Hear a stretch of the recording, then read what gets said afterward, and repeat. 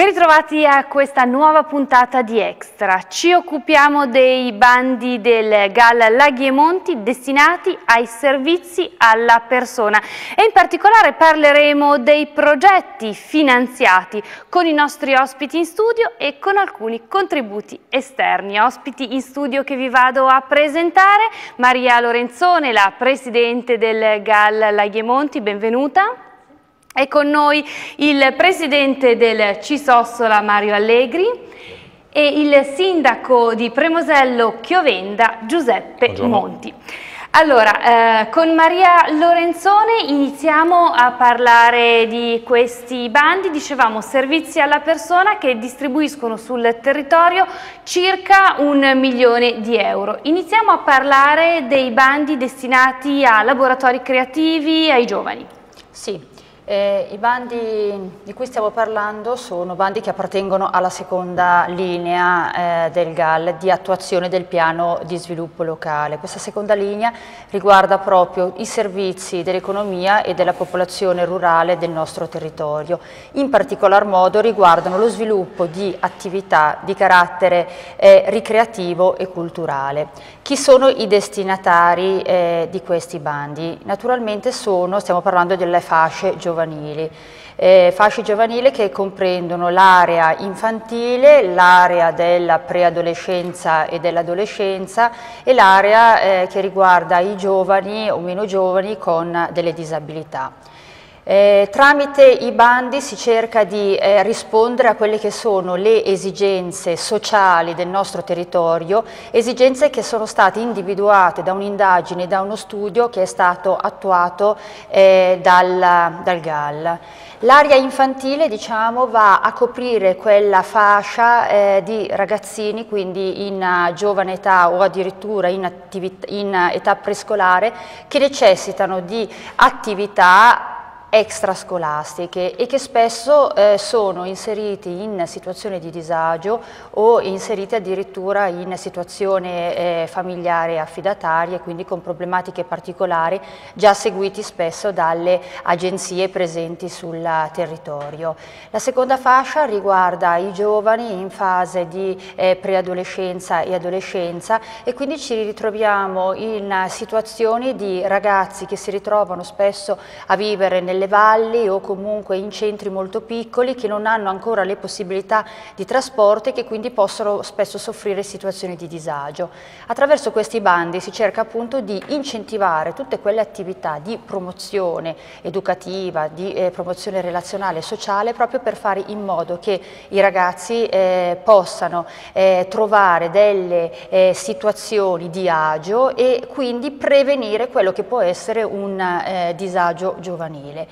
Oltre al discorso quindi dei ragazzi in eh, fascia prescolare e scolare, eh, abbiamo cercato di promuovere nei bandi anche attività che riguardassero giovani con disabilità dove per disabilità si intende sia disabilità intellettive che mh, disabilità relazionali. Questo soprattutto per fare in modo che si possano creare dei supporti per le famiglie, per fare in modo che anche al di fuori, quindi dell'ambito familiare, ci sia un sostegno per questi ragazzi che quindi possano eh, provare delle esperienze diverse e che la famiglia abbia anche un pochino di eh, diciamo, libertà in, eh, al di fuori di quella che è l'educazione del, del ragazzo.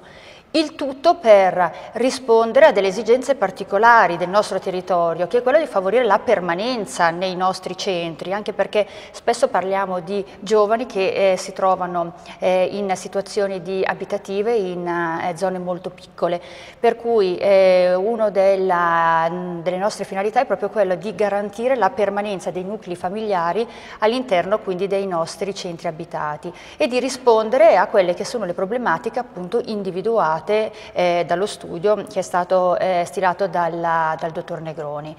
Eh, hanno partecipato eh, i beneficiari appunto del bandi che riguardano queste eh, fasce eh, giovanili sono sia soggetti pubblici eh, sia i comuni o comunque soggetti che hanno titolo quindi su quelle che sono ad esempio le eh, strutture in cui, su, in cui poi avverranno le attività. Si tratta spesso quindi di organizzare laboratori, laboratori molto particolari che siano eh, con finalità quindi eh, ricreative, con finalità educative, si tratta di laboratori eh, multimediali che affrontano il discorso della fotografia, della cucina, del teatro. Abbiamo poi laboratori e aree attrezzate che possono essere quindi eh, favorite con questi bandi che riguardano le attività sportive e le attività ludico-sportive, attività ricreative soprattutto per i bambini che vanno ad esempio dai 3 ai 15 anni, e laboratori eh, teatrali.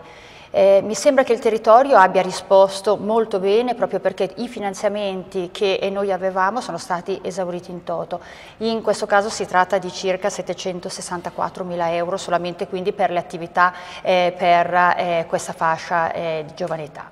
Ecco, eh, 500 mila euro, anzi per la precisione 568 mila, eh, sono andati al CIS Ossola. Per fare che cosa?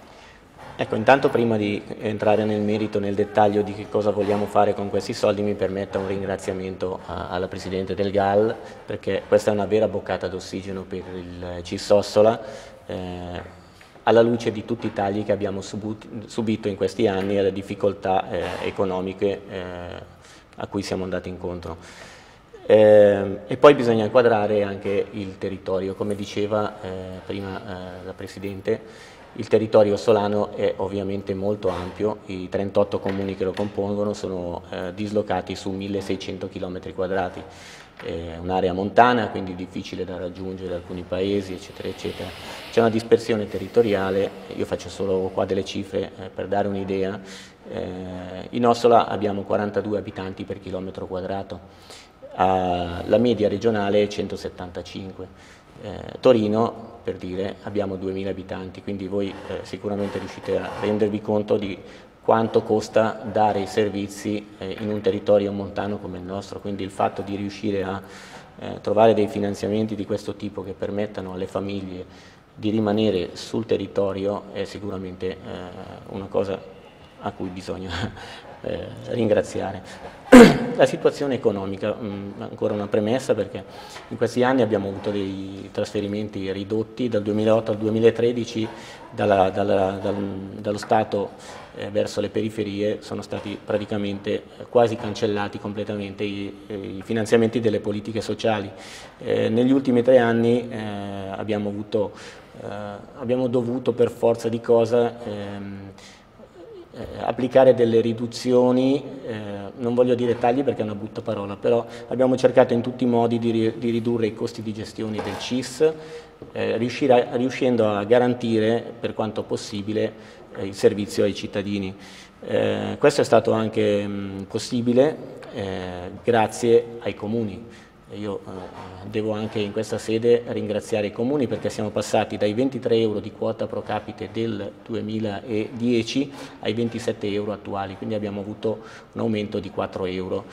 Eh, è ancora una cifra medio-bassa rispetto alla media eh, regionale. Comunque diciamo che negli ultimi anni c'è stata una forte sensibilità da parte dei comuni. E l'ultimo eh, inciso che voglio fare prima di entrare nel merito del, del progetto è un ringraziamento alla comunità montana perché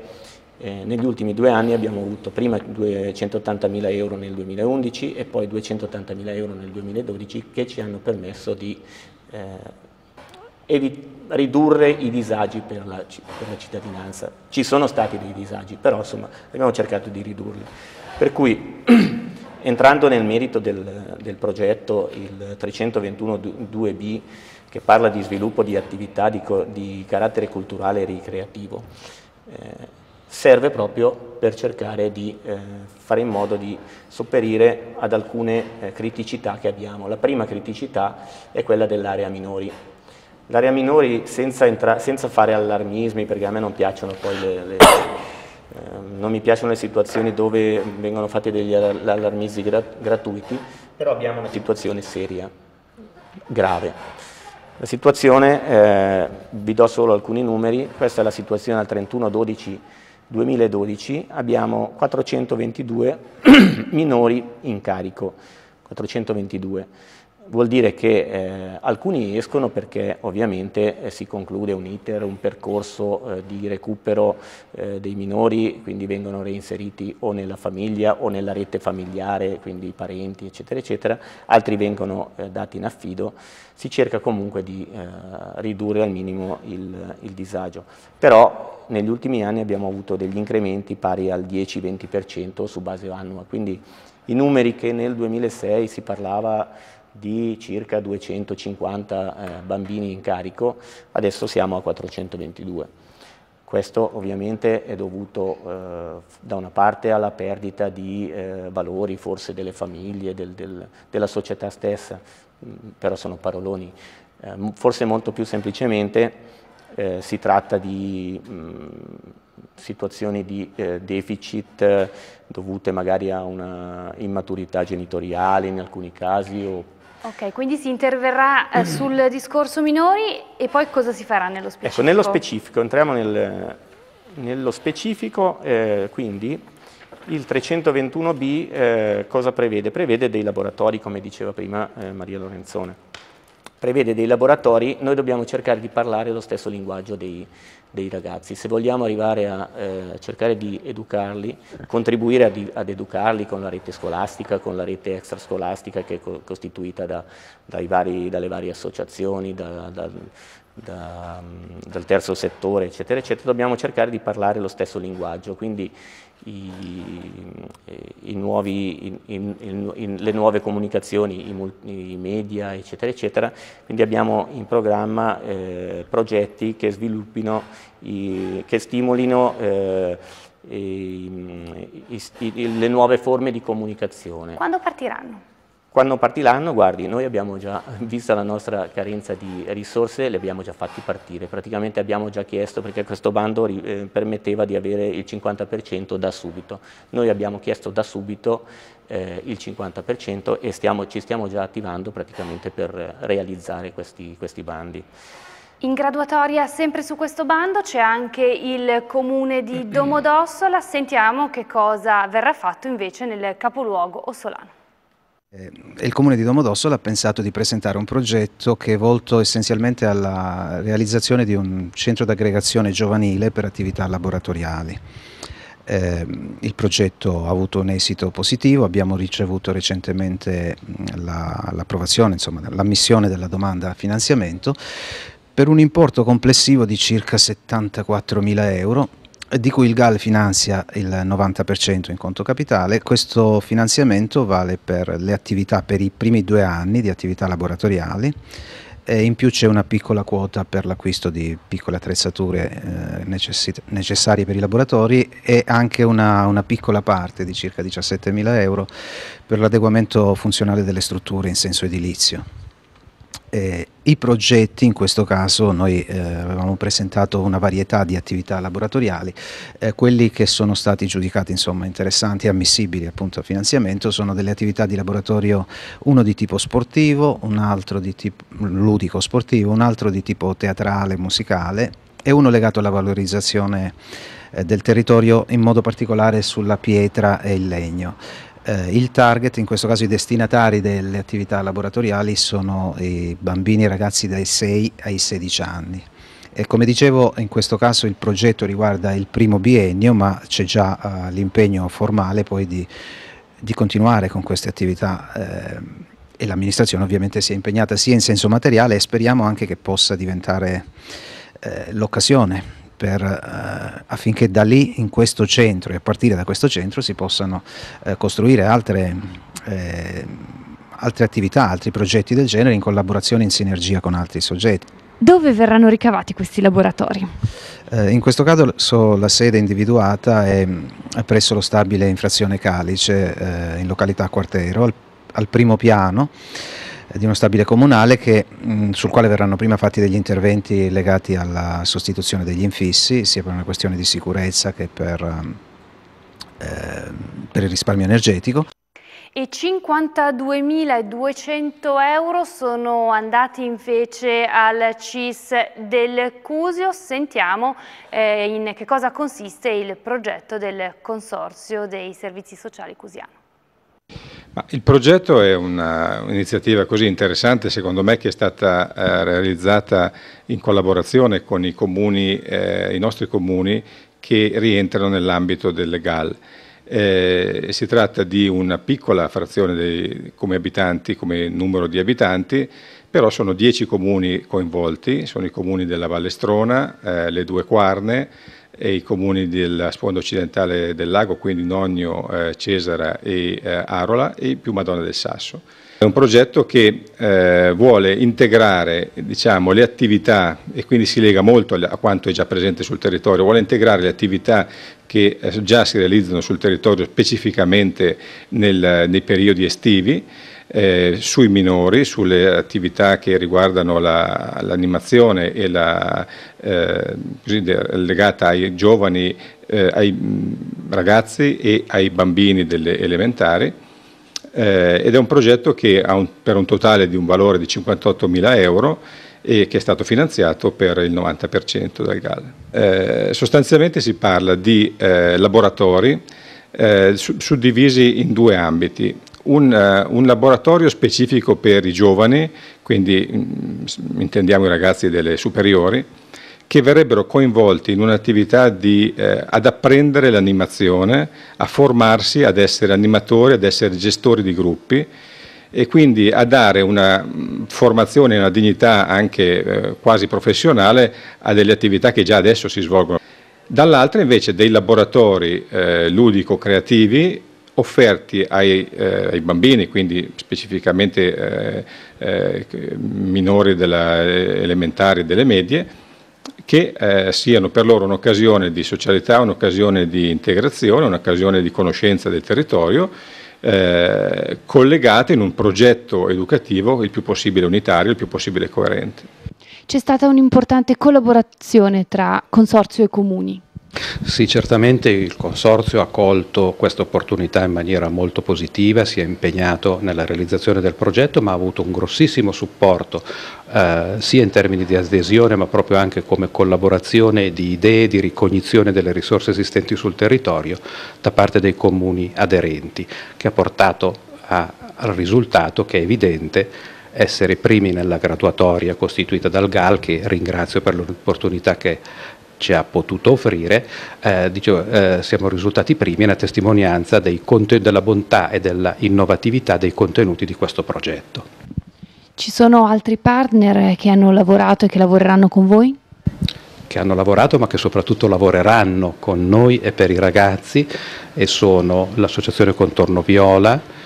che sono Arcademia di Omegna e che sono la Fondazione Forum che hanno dichiarato il loro impegno e saranno senz'altro chiamati a rispettare l'impegno che ci hanno offerto.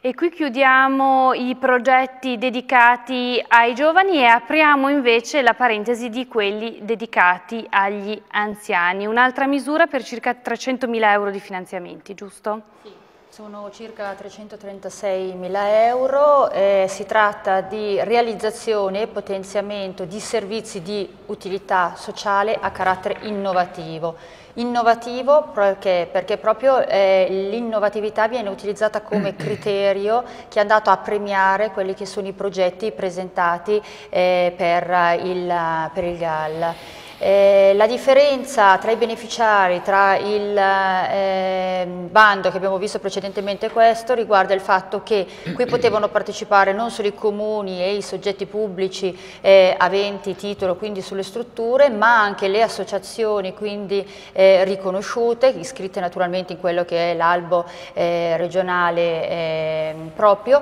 l'IPAB e anche quelle che sono le fondazioni, per cui questa è diciamo, la differenza. Differenza naturalmente anche nella fascia, non più giovani ma in questo caso anziani. Siamo andati attraverso lo studio e l'indagine che eh, è stata attivata a favorire quello che è la domiciliarità, un sostegno alla domiciliarità proprio come diritto di cittadinanza per la fascia degli anziani e come fattore di benessere, oltre al fatto di cercare di ridurre quelle che sono quindi eh, le risorse ad esempio per i costi di trasporto piuttosto che per l'assistenza quindi eh, per per gli anziani. Si è cercato attraverso i bandi quindi di promuovere eh, il il fatto dell'anziano eh, che debba essere quindi eh, assistito presso la propria casa, proprio perché eh, la caratteristica fondamentale è sempre quella della permanenza dell'anziano e delle persone nei centri, nei centri montani, nelle nostre valli. Per cui il fatto di garantire eh, questa eh, assistenza alla domiciliarità è eh, la caratteristica fondamentale di quello che noi abbiamo cercato di promuovere, con la possibilità quindi di spostamenti tra quelle che sono le case degli anziani e le strutture, e strutture dove appunto si può garantire l'assistenza, strutture semplicemente per, eh, che possono servire per poter quindi in qualche modo tutelare l'anziano. Si è cercato di dare spazio soprattutto alla garanzia di tutela e alla comunicazione attraverso progetti che poi dopo eh, vedrete che riguardano soprattutto il fatto di favorire la possibilità di conoscere e sapere quali sono i problemi eh, del, degli anziani. Mi sembra che l'affluenza anche in questo caso sia stata eh, positiva e che i progetti veramente siano eh, innovativi. Ecco, e proprio a proposito di progetti, 96.000 euro al Comune di Premosello per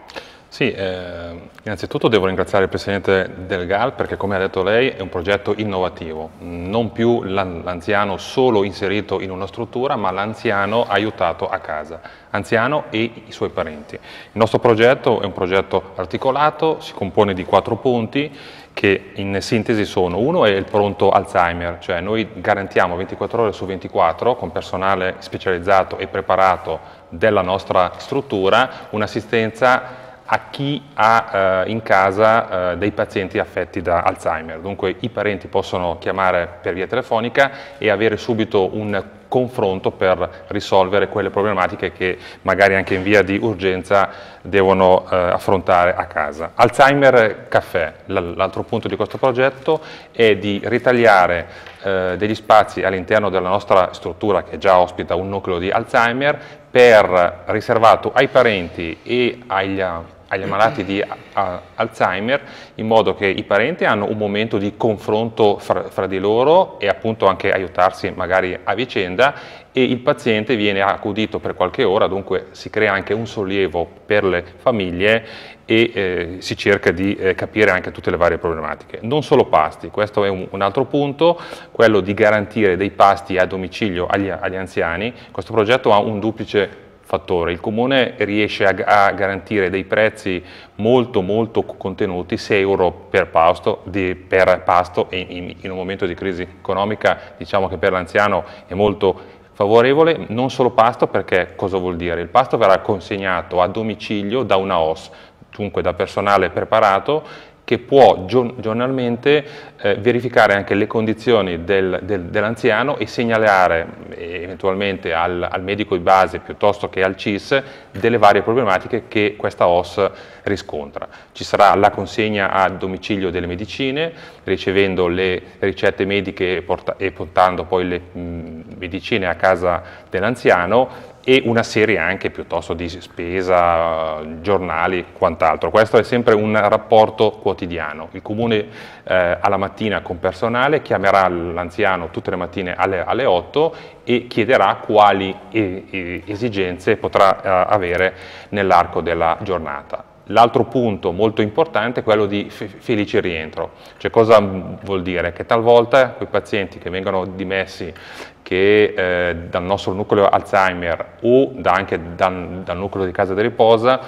eh, noi manderemo del personale formato a domicilio per verificare se le strutture che hanno in casa sono idonee. Tanto per dirvi se hanno delle barriere architettoniche che possono essere eh, eliminate, se i letti sono in, eh, appositi per la patologia su cui eh, soffrono, cioè tutta una serie di consigli che possono essere molto utili per i familiari e per il paziente che eh, rientra nelle proprie eh, diciamo case. Questo dunque a Premosello, vediamo invece che cosa accadrà a Cannobio con la collaborazione della Fondazione Comunità Attiva. Sì, eh, come comune di Cannobio capofila rispetto anche ai comuni della valle abbiamo presentato un uh, progetto al Gal Ossola del quale fa parte tutta la Valle Cannobina e una parte del territorio del comune di Cannobio sul sociale, in particolare per la costruzione, tra virgolette, l'organizzazione di un servizio di trasporto sociale dai comuni della valle per la popolazione anziana e non verso i centri di servizi sanitari presenti in Cannobio eh, con un mezzo che eh, la Fondazione Comunità Attiva eh, sta acquistando grazie alle donazioni raccolte dalle comunità di Cannobio e della Valle Cannobina. Oltre a, a, questo il progetto prevede anche la consegna a domicilio di farmaci e, e, pasti sempre per tutti e quattro i comuni, la popolazione dei quattro comuni della Valle Cannobina. È un progetto complessivamente di poco più di 50.000 euro, eh, cofinanziato al 10% dal comune di Cannobio e per il 90% da, dal, dal GAL con le risorse messe a disposizione da questo bando. L'abbiamo sentito, materialmente il servizio sarà poi messo in campo dalla Fondazione Comunità Attiva. Sì, direi che è stata una felice coincidenza il, questo finanziamento del GAL con l'iniziativa che la Fondazione Comunità Attiva aveva messo in atto durante il periodo natalizio che è sempre stato caratterizzato come periodo di solidarietà e infatti il messaggio che abbiamo fatto partire in tutta la comunità, in tutte le associazioni è fai circolare la solidarietà. Questo ci ha permesso in quel periodo natalizio di raccogliere una cifra considerevole, 29.500 euro, che ci permette di acquistare il pulmino a nove posti. Un ringraziamento quindi a tutte le associazioni, alla Fondazione Comunitaria del VCO, alla Fondazione Banca Popolare di Intra Onlus, che hanno anch'essi entrato in sinergia con questa comunità per favorire e rendere quello che è una finalità propria della Fondazione Comunità Attiva. Uno, stimolare la partecipazione, due, vivere la medicina di prossimità, cioè portare i servizi più vicino alla persona e se non riusciamo a portare i servizi più vicino alla persona cerchiamo di portare tramite il trasporto sociale le persone più vicini ai servizi. Peraltro ultimamente c'è stata un'importante novità per la Fondazione. Direi proprio di sì, perché dal 19 di febbraio del 2013 la Fondazione Comunità Attiva è stata riconosciuta come ONLUS e direi che eh, sono state molte le attività, come vengono chiamate, di fundraising, di raccolta fondi, ma quella eh, principale è, è legata alle microdonazioni chiamiamo praticamente tutte le persone a rendersi corresponsabili per la crescita di un bene comune della comunità e questo può essere fatto tramite una microdonazione eh, trimestrale di 5 euro dove la persona sceglie su quale fondo progettuale versare il, il proprio contributo. E anche in questa misura rientra il CISOSOLA, brevemente con che cosa? Allora, eh, come diceva Maria, dobbiamo fare in modo di eh, lasciare, fare, permettere agli anziani di rimanere a casa propria in sicurezza. Quindi il primo progetto è il telefono amico, eh,